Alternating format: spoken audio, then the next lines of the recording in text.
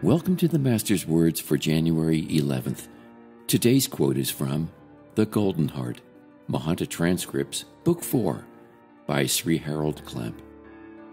When you start to do the spiritual exercises of ECK, the light and sound of the Holy Spirit begin to enter you through an invisible communication line, and changes come about in your personality.